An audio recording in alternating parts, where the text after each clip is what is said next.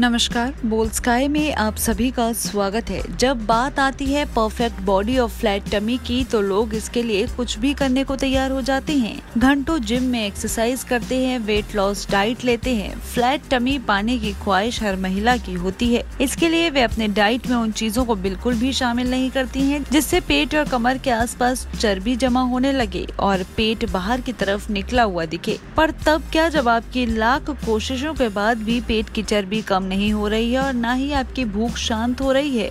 ऐसे में आप अपने डाइट को बदल सकती हैं और इसमें अंडा शामिल कर सकती हैं। नाश्ते में आप अंडा खाएँ, खासकर सुबह आठ बजे से पहले वो भी जैतून के तेल में पकाकर। जब आप नाश्ते में अंडा खाती हैं तो ये आपको देर तक भरा हुआ महसूस फील कराता है। अंडे में कई पोषक तत्व होते हैं, जैसे प्रोटीन बायोटीन विटामिन डी दिन में दो से तीन बजे तक आप आराम से अंडा खाकर रह सकते हैं। इससे आप कुछ भी अनहेल्दी खाद्य पदार्थ खाने से भी बची रहेंगी। साथ ही ध्यान रखें कि कुछ लोग अंडे का पीला वाला हिस्सा अपनी प्लेट से हटा देते हैं। उन्हें लगता है कि इसे खाने से वह मोटे हो जाएँगे। पर ऐसा बिल्कुल भी नहीं है। आप दो अंडे की जर्दी खाएँगी तो भी नुकसान नहीं होगा और न ही वज़न बढ़ेगा।